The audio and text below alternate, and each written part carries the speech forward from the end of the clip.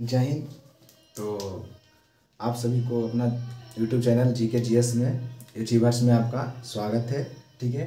तो आज इस वीडियो में हम बताने वाले हैं ले, लेंस और दर्पण के बीच प्रतिबिंब कैसे बनता है कैसे निकालें ठीक है? क्योंकि ये सभी एग्ज़ाम में परेशान करता है ठीक है? नहीं बनता है क्वेश्चन तो आज देखिए जो कि चुटकी बजाइएगा, क्वेश्चन बन जाएगा, ठीक है? देखिए कैसे बनता है और कल बताए थे। कल हम बता दिए थे अवतल दर्पण। अवतल दर्पण और उत्तल लेंस।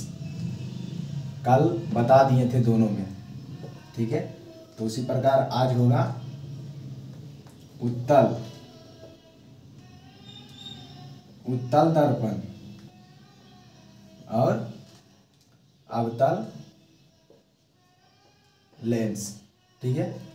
बगल में शिव चर्चा हो रहा है। ठीक है? बड़ी पहाड़ी बिहार से बड़ी पहाड़ी से बगल में शिव चर्चा हो रहा है। यहाँ काफ़ी ज़्यादा शिव चर्चा होता है। ठीक है? इसीलिए आवाज़ थोड़ा माइनस करिएगा। आवाज़ अगर जाएगा तो माइनस करिएगा। ठीक है? तो चलिए शुरू करते हैं। आइए, पहले अवतल दर्पण में बता देते हैं। उसके बाद अवतल लेंस में बता देंगे। ठीक है? तो चलिए अवतल उत्तल दर्पण में आइए।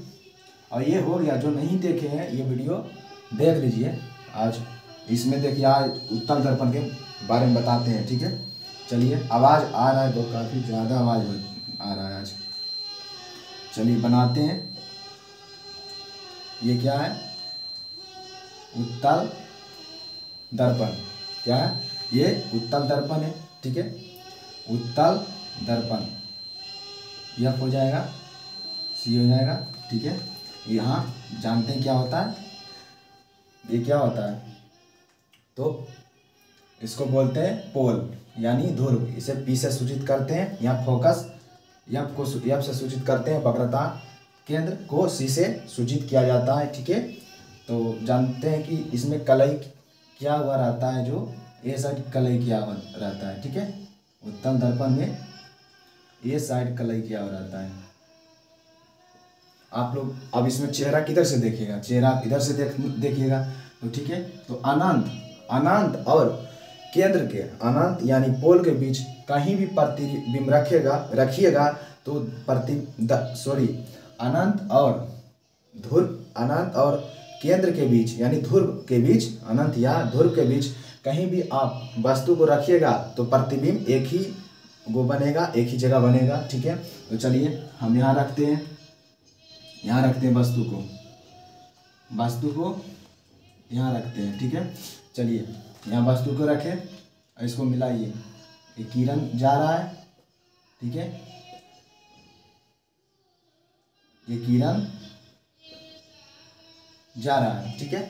अब ये किरण जो जा रहा है, ये कहाँ से मुड़ जाएगा? ये नीचे भी नहीं आ पाएगा ये कलाई किया हुआ है तो इधर पार नहीं होगा। कली कलाई किया हुआ है, इसलिए इधर पार नहीं होगा, ये ऊपर की ओर मुड़ जाएगा, ठीक है? ऊपर की ओर मुड़ जाएगा। और आप अगर इसको जब मिलाइएगा, नीचे लाइएगा, ठीक है?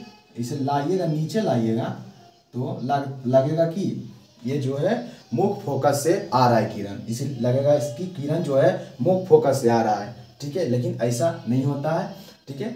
तो इस, इसको मिला दिए।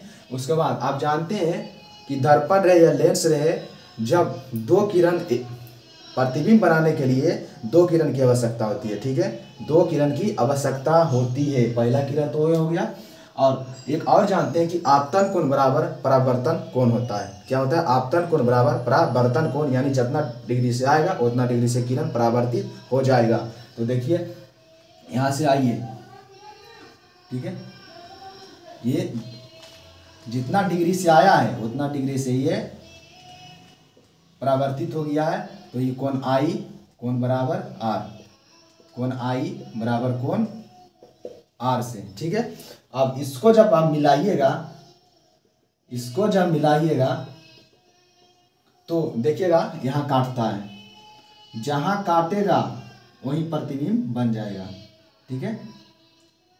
यही प्रतिबिंब बना है। ठीक है? आप बोलिए। आप बताइए, यही प्रतिबिंब बना है तो प्रतिबिंब कैसा बना है? प्रतिबिंब जो बना है, वो कैसा बना है? तो देखिएगा, प्रतिबिंब कैसा बना है? ये वस्तु है, वस्तु को यू से सूचित करते हैं, ठीक है? वस्तु को यू से सूचित किया जाता है, और ये प्रतिबिंब को हम लोग भी से सूचित करते हैं। प्रतिबिंब को भी से सूचित किया जाता है, ठीक है? तो आप देखिए अब यहाँ देखिए, प्रतिबिंब आइए। प्रतिबिंब प्रतिबिंब देखिए कैसे बन रहा है। आप लोग खुद ध्यान से देखिएगा, बता दीजिएगा, ठीक है? बस, खाली ध्यान से देखिए। वस्तु कैसा है? वस्तु सीधा है तो प्रतिबिंब वस्तु की ओर जिससे वस्तु इधर लंबा लंबी है तो ये ऊपर की ओर है, प्रतिबिंब ऊपर की ओर है, ठीक है? तो कैसा होगा? सीधा होगा। पहला नंबर, आइए। सीधा हो जाएगा, ठीक है? सीधा हो जाएगा। आप क्या देख रहे हैं? कि वस्तु इतना बड़ा है प्रतिबिंब चलिए गो है घुटनी को। ये देखिए कितना बड़ा है, बहुत बड़ा है, ये कितना ये कितना है? देखिए बस छोटा सा है, इसीलिए क्या हो जाएगा? छोटा हो जाएगा। छोटा हो गया। क्या हो गया? सीधा हो गया, छोटा हो गया, ठीक है? और सीधा को क्या बोलते हैं? सीधा को आभासी, सीधा को आभासी, सीधा को आभासी, ठीक है? सीधा को आभासी, ठीक है? और इतना तीनों हमेशा होता है। हमेशा हमेशा कुछ भी कर लीजिए आप। कुछ भी कर लीजिए, प्रतिबिंब इतना बड़ा क्यों नहीं बना दीजिए? इतना बड़ा क्यों नहीं बना दीजिए? प्रतिबिंब को इतना बड़ा क्यों नहीं बना दीजिए? वस्तु को इतना बड़ा क्यों नहीं रख लीजिए? दर्पण को इतना बड़ा क्यों नहीं बना लीजिए? हमेशा।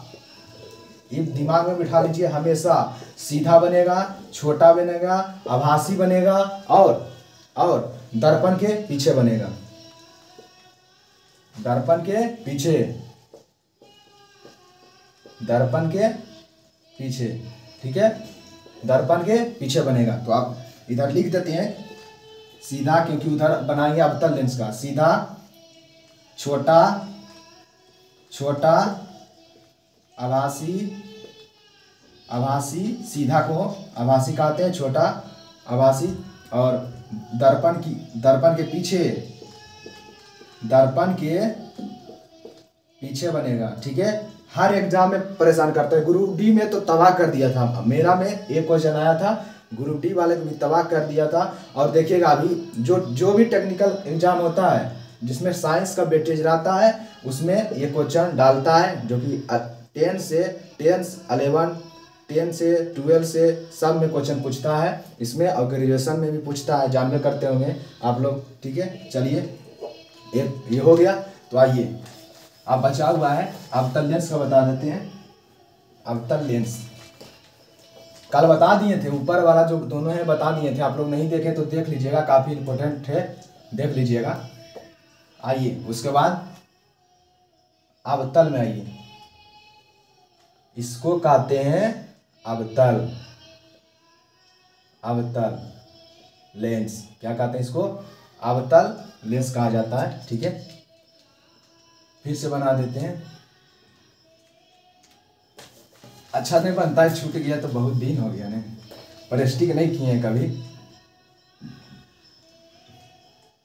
देखिए, ऐसे बना जाता है। ठीक है? कॉपी ये नहीं बनेगा। चलिए, इसको बीचे बीच बीचों बीच जो यहाँ रहता है, उसे प्रकाशीय केंद्र को ओ द्वारा सूचित किया जाता है। इसे प्रकाशीय केंद्र बोलते हैं, ऐसे ओ द्वारा सूचित किया जाता है, ठीक है? इसको बोलते हैं प्रधान अक्ष इसको प्रधान अक्ष प्रिंसिपल अक्ष जो भी बोलिएगा, सब चलेगा, ठीक है? और यहाँ हो जाता है यफ यहाँ हो जाता है यफ और यहाँ हो जाता है, टू एफ़ और यहाँ हो जाता है, टू एफ़ ठीक है? इसमें कि ये क्या हो जाएगा? फो, फोकस केंद्र, ठीक है? फोकस केंद्र, यानी मुख फोकस। मुख फोकस उसे कहते हैं जब जब कोई किरण प्रधान अक्ष के समांतर जाता है और दर्पण के परावर्तन के बाद जिस बिंदु पर कटता है, उसको क्या कहते हैं? मुख फोक, उसे कहते हैं फोकस, यानी फोकस बिंदु कहते हैं, यानी मुख फोकस कहा जाता है, ठीक है? तो चलिए इसमें भी इसमें भी लिख, नहीं लिखे थे। हाँ यहाँ तो फोकस सही है यहाँ वक्रता केंद्र हो जाएगा, ठीक है? वक्रता केंद्र हो जाएगा, यहाँ देखिए टू या फिर, ठीक है? अब चलिए। अब इसमें प्रतिबिंब किरण लाते हैं तो देखिएगा यहाँ से कोई कहीं रख लीजिए, आप कहीं भी रख लीजिए, कहीं वस्तु को आप कहीं भी रख सकते हैं, कहीं भी रख लीजिए वस्तु को, ठीक है? वस्तु को हम यहाँ रख लीजिए, रख लिए। उसके बाद यहाँ से जब बस किरण निकला तो यहाँ से ये परावर्तन होगा। यहाँ से परावर्तन होगा, ये नीचे नहीं जा सकता, ठीक है?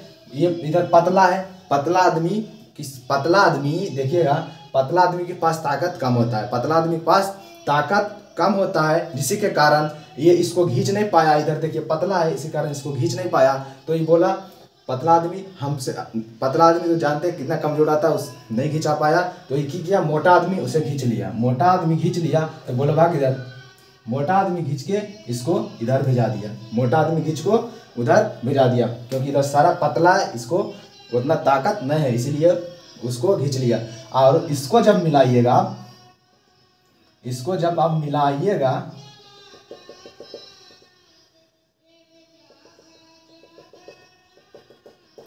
इसको जब आप मिलाइएगा तो देखिएगा कहाँ चल गया।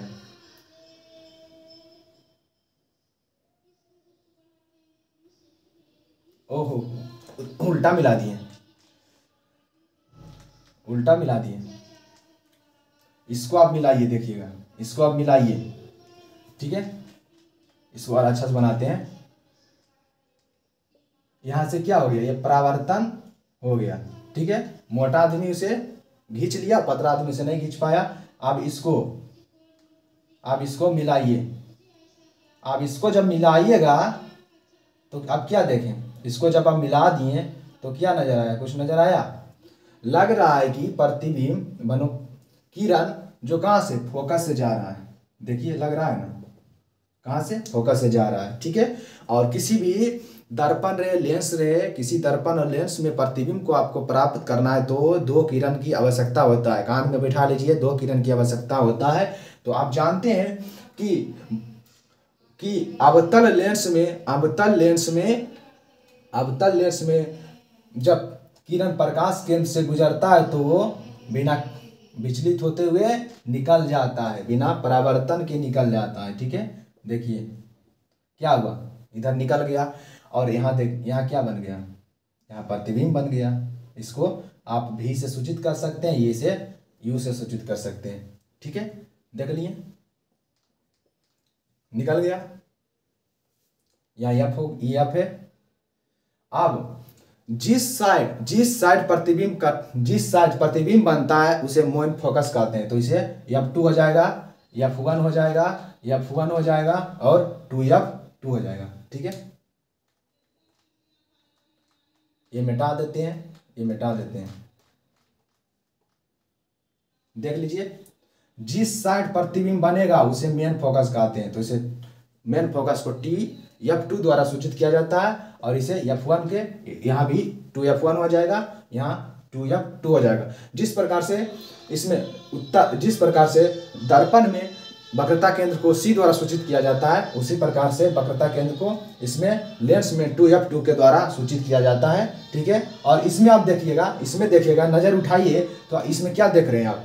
इसमें जब आप देखिएगा तो क्या देखिएगा कि इसमें जो प्रतिबिंब बन रहा है प्रतिबिंब जो बन रहा है, प्रतिबिंब जो बन रहा है, इसमें जो प्रतिबिंब बन रहा है, कैसा प्रतिबिंब बन रहा है? आप देखिएगा। तो प्रतिबिंब कैसा बन रहा है? पहला नंबर तो सीधा बन रहा है। सीधा बन रहा है।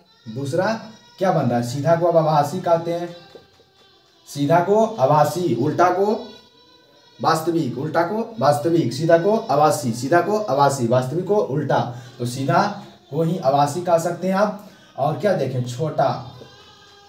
और क्या देख रहे हैं आप? छोटा बन रहा है। प्रतिबिंब कैसा बन रहा है? छोटा बन रहा है, छोटा बन रहा है। तो छोटा बन रहा है आवासी छोटा बन रहा है और आवासी सीधा, ठीक है? और क्या बन रहा है? दर्पण वस्तु की ओर बन रहा है।